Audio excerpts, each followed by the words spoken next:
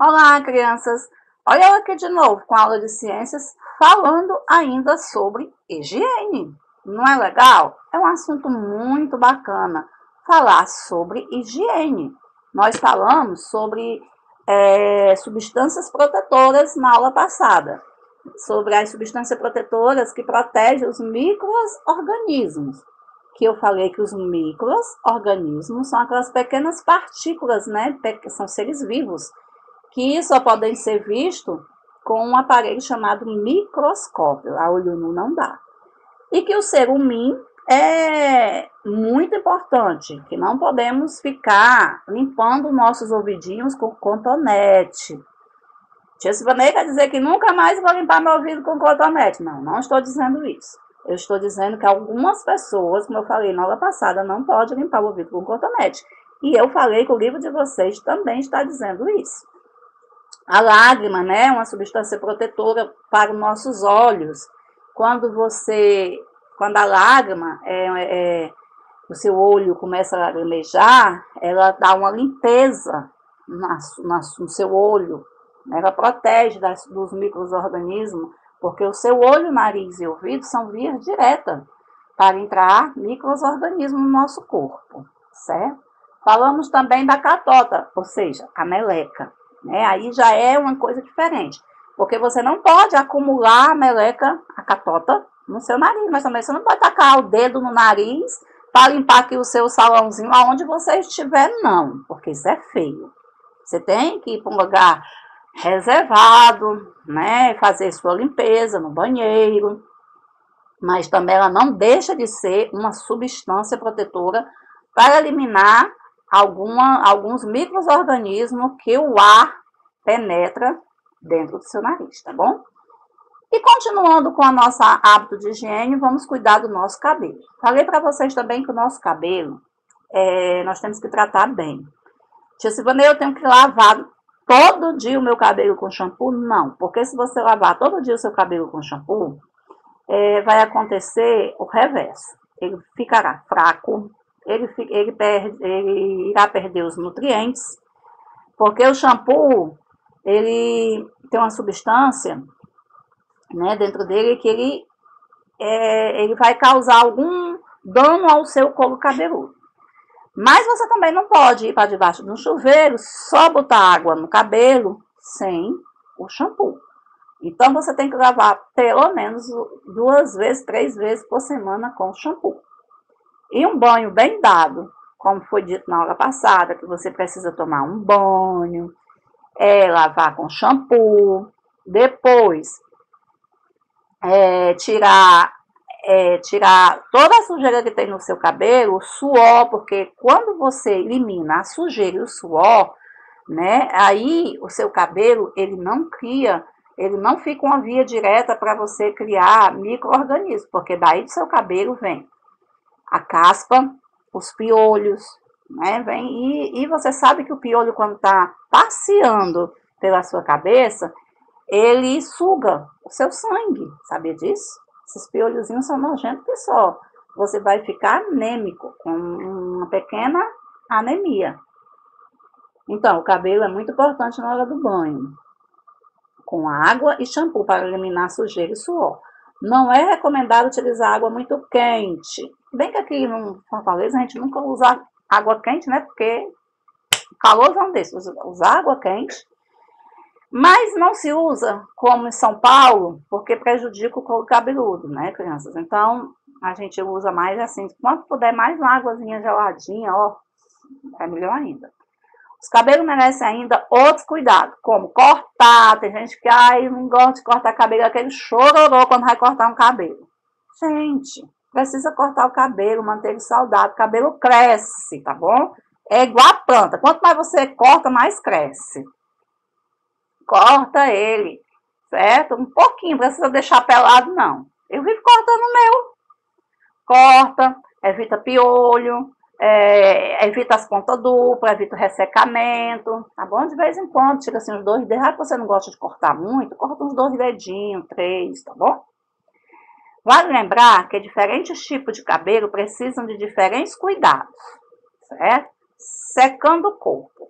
Tia, eu tomo banho, eu faço isso tudo que a senhora diz. Só que eu saio do banheiro, não me enxugo não, visto a roupa. Eita, pode ser não, se não.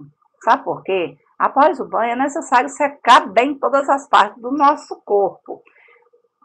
Especialmente entre os dedos, gente. Entre os dedos dos pés. Para evitar micose e chulé. Se você não enxugar bem ali, entre os dedos dos pés, é, é, aquela, aquele suorzinho vai se acumular no suorzinho. A água que ficou se vai, irá se acumular e vai criar aquele chulezinho. Então, e outras partes, né? Que nós temos que enxugar tudo, o pescoço, é, o corpo todo. Você tem que enxugar, porque a partir do momento que você veste a sua roupinha e você vestir molhado, ah, tia, o meu corpo enxuga naturalmente. Não, você tem uma toalha, a toalha foi feita para enxugar. Então você enxuga seu corpinho, passa um hidratantezinho, se vai sair, passa um protetor solar, porque o sol de Fortaleza está queimando e não faz bem para a pele, é evitar doenças, tá bom? No livro de vocês, página 124, lê as frases a seguir e pinte as que representam hábitos corretos de higiene. Bem, eu já pintei aqui as minhas frases que eu tenho certeza que é hábitos corretos. Vamos lá ver se você concorda comigo. Letra A. O banho elimina sujeira e micro-organismos que podem fazer mal à saúde? Sim, então pintei essa daí. Você também pinta, porque isso é verdade. B. Apenas a parte externa da orelha deve ser limpa com uma toalha. Claro, né, gente? Já pensou meter a toalha aqui dentro da minha orelha aqui, tacar a toalha lá dentro na parte interna? E nem dá, não pode. Então, você tem que pegar a toalha assim, na parte aqui, ó, externa. Externa quer dizer fora. Interna é dentro, tá bom? Então, isso aí é correto. Os cabelos não precisam ser lavados porque não ficam sujos. Isso aí é, uma mentira, né? E os cabelos precisam ser lavados sim, porque eles ficam sujos sim. De suor, de sujeira, oleosos. Precisa ser lavado sim, isso aí não pinta não, viu? Porque isso aí é mentira. Após o banho, todas as partes do corpo devem ser bem secas? Com certeza. Deve pintar sim. Todas as partes do corpo devem ser bem secas. O nariz deve ser assoado com frequência para retirar o muco e a moleca, a meleca, ou seja, a catota? Sim, com um lenço de papel ou lencinho de pano. E não você tacar dedo lá dentro, dedo sujo, não pode. Apesar, você ainda tá com o dedo sujo, ainda tacar no seu nariz, aí é que vai entrar organismo, micro-organismo mesmo, tá bom? Então, essa, essa daí é verdadeira. Para saber mais, quem mora no seu umbigo. Você sabe quem mora no seu umbigo? Vamos, vamos descobrir? Você com certeza já ouviu muitas histórias sobre monstros que moram embaixo da cama. Mas alguém já falou das criaturinhas que moram no seu umbigo? Aposto que não. Quase 100 pessoas tiveram um umbigo analisado e só nesse grupo, os pesquisadores identificaram mais de 1.400 tipos de bactérias. Meu Deus! Olha só, 1.400 tipos de bactéria no umbigo, gente. Esse umbigo, assim, umbigo aí, ele não estava bem lavado também não, viu? Antes de sair, correndo para o médico, não precisa de desespero, calma, se acalme. Não precisa se desesperar. Vamos ver as precauções que podemos ter para o nosso umbigo não ter essas 1.400 tipos de bactérias, né? Se acalma, tá bom? Saiba que essas criaturas vivem, na, vivem em harmonia com a gente e servem como um grande exército de defesa. Olha só, não são aqueles monstros debaixo da cama, né? Eles servem como, é, como defesa. Muitas estão no nosso umbigo e por toda a pele, além da boca e do intestino, para nos proteger dos micro-organismos que geram doenças. Ah, tia Silvanei, então, essas 1.400 bactérias, ela é do bem. Até agora é, né? Vamos ver, vamos continuar aqui com a história aqui do para saber mais, né? Mas olhe, mas olhem lá, não vale usar a biodiversidade do umbigo como desculpa para te tornar para, para parar de tomar banho não, viu? Ai, deixa eu mais tomar banho não, com o meu umbigo, o meu umbigo agora, ele me protege, é um Superman, também não é assim não, gente, calma. Então, é, não precisa, né, usar isso. Falta de higiene permite a entrada de outras bactérias que podem deixar você doente. Então, o ideal é estar sempre limpinho e cheirosinho, tá bom? Então, não vá usar a desculpa do umbigo. Ah, com o meu umbigo, ele tem 1.400 é, bactérias que me protegem também, não é assim não.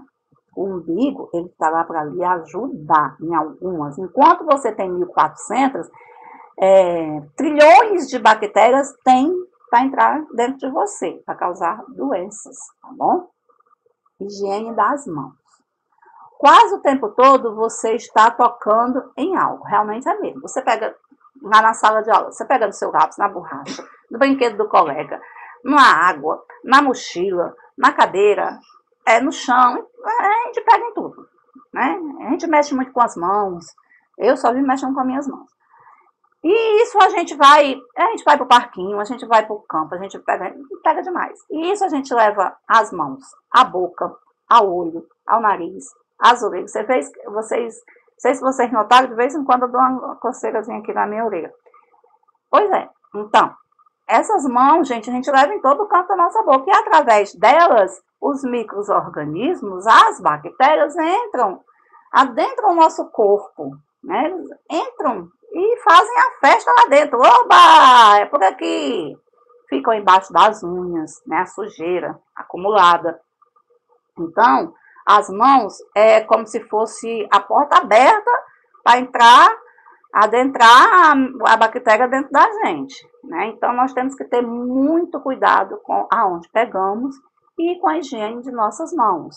Até quando vamos comer alimentos né? Antes, de, antes, de, antes do almoço, lavar as mãos.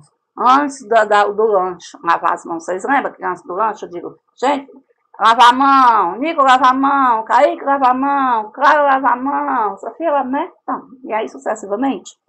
Por quê? Porque vocês estão com a mão suja e ter a página do caderno é suja, a página do livro é suja, o borracha é sujo, tudo é sujeira. E nisso vai se acumulando e a gente não dá para ver se olhar. Não conseguimos ver. Então, a mão é a via direta para micro-organismos e bactérias invadirem o nosso corpo, tá bom? Deixa eu voltar para cá. Quase todo o nosso, é, quase o tempo todo, estamos tocando algo com as mãos. Quando brincamos, estudamos, comemos, entre outras atividades.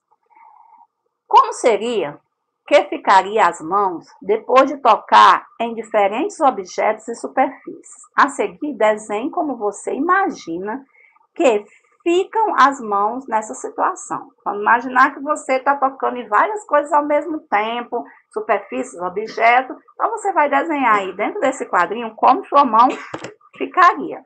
Olha só, a, o, o horror de bactérias, de micro-organismos que tem na nossa mão, que nós não conseguimos observar. Vocês estão vendo, crianças? Isso aí eu estou mostrando para vocês porque isso aí nós estamos observando porque foi com a ajuda de um microscópio. É, uma mão de uma criança colocada e um microscópio conseguiu detectar essa, gente podemos chamar essa ruma de monstrinhos aí, tá vendo aí? São azuis, vermelho, amarelo, olha só, isso tudo, todos esses monstrinhos, quando você leva a sua mão à boca, ou ao olho, ou ao nariz, ou ao nariz para tirar a catota, elas, olha, esses monstros adoram. Eles fazem a festa dentro do seu corpo. Não é possível ver a olho nu, como eu disse para vocês, né? Mas provavelmente haverá mais, haverá nas mãos micro-organismos como bactérias, fungos e vírus. Vocês estão vendo isso aí tudinho, ó? Isso aí tudinho é bactérias, fungos, vírus. Por quê? Porque nós saímos tocando, pegando, né, tudo. Até quando vamos ao supermercado ou na feira, nós saímos pegando nas coisas. Então, isso aí, ó. Então, por isso que temos que lavar a mão, tá certo? Será que é saudável se alimentar com as mãos assim? O que vocês acham? É saudável comer com a mão? Ai, eu não queria. Não. Comer com a mão cheia de bichinho assim? Não. Eca. Dá pra mim não, isso aí, né? Deus me livre vocês. Querem comer com a mão assim? Desse jeito aí? Aí o alimento que vocês vão comer, esses bichinhos, ó, vão grudar nele e vão aqui pra dentro de vocês? Eu não. Então, o que é que vocês acham? É melhor lavar a mão ou é melhor ficar doentes? Eu acho melhor lavar a mão, né? Fica a dica aí, tá bom? As bactérias, olhem só. Aí tem uma mão, os dois dedinhos que vocês estão andando, os dois dedinhos estão andando como se fossem dois pezinhos, né? E os, as bactérias tudo assim, ó, louca atrás dela. Mas sabe o que aconteceu? Vou dizer para vocês, vou traduzir isso aí para vocês. Essa pessoa dessa mão foi ao banheiro. Ela fez o número 2 certo? Limpou lá de qualquer jeito, não lavou as mãos e aconteceu o quê? Hum, saiu com a mão suja de cocô. É. E as bactérias, meu filho, vendo aquele, não é cheirinho, né? Aquele odor, aquele mau cheiro, saiu danada correndo atrás da mãozinha suja. Pra quê? Imagina aí. Já imaginaram? Pois é. Pra, ó, fazerem a festa na mão lá do, do cidadãozinho aí, ou da cidadã, ó, mas menino. Então, vamos olhar aqui a historinha. As bactérias. Tinham duas bactérias conversando. Mas que fedor! Você fez cocô? A bactéria perguntando para a outra. Tem a bactéria azul e a bactéria laranja, estão vendo? Ela diz, mas que fedor! Você fez cocô? Aí a bactéria, aí passa a mão, né? Nisso a mão repassando, a mãozinha dando passando. Só que lá na mãozinha dela, vocês estão vendo aqui, ó, tá suja. Por quê? Porque é a dona dessa mão, ou o dono dessa mão, foi lá no banheiro e fez o quê? Fez o número 2 e não lavou as mãos depois que fez o número 2 porque o que é certo, faz o número 2 e ó, lava-se as mãos com sabão, água, bem lavadinha, que essas bactérias aí não ia correr atrás dela não. Mas vamos continuar aqui a história. Amiga, é alguém que fez e não lavou as mãos. Correram atrás dela. Olha aí, fizeram a festa. Ora, mas meninos acharam foi bom. Tá vendo? É por isso que devemos lavar as mãos, crianças. Olha aí o outro. O menino ficou assustado. Ele foi, ó, o dono da mão aí. O dono da mão suja. Esse daí foi lá no banheiro, ó, ele está no banheiro, tá vendo aqui, ó, papel higiênico, ó, papel higiênico. Ó aqui. Aí ele foi ao banheiro, ó, e ó, arruma de vírus, fungo, bactéria, tudo aqui na mão dele, ó, ele se tomou um susto. Só que eu, eu acho que ele nem tá vendo. O que ele tá sentindo aí, sabe o que é? É o mau cheiro, é o odor que tá saindo da mão dele. Porque ele veio aqui, ó. Ele veio aqui, fez o número 2, não limpou as mãos. Aí ele tá sentindo o mau cheiro, aí ele veio limpar as mãos para tirar o odor. Olha só, a mão aqui com sabonete que ele fez agora. Ele pegou, o sabonete, lavou bem a mão e as bactérias, ó, estão correndo, não quero ficar nessa mão não. Socorro, essa mão tá muito limpa, sai daí, show, Deus me livre. Ela tá dizendo desse jeito, essas bactérias aqui. Sai, eu não vou ficar nessa mão, quero não, socorro. Essa mãozinha aqui tá muito limpa, mas tá limpa por quê, criança? Porque aquela mãozinha suja que as bactérias e os vírus saíram correndo atrás dela, viu que estava fedendo, né? Viu que estava um odorzinho diferente, voltou ao banheiro, lavou a mão com sabonete e show bactéria. E show vírus, tá vendo aí?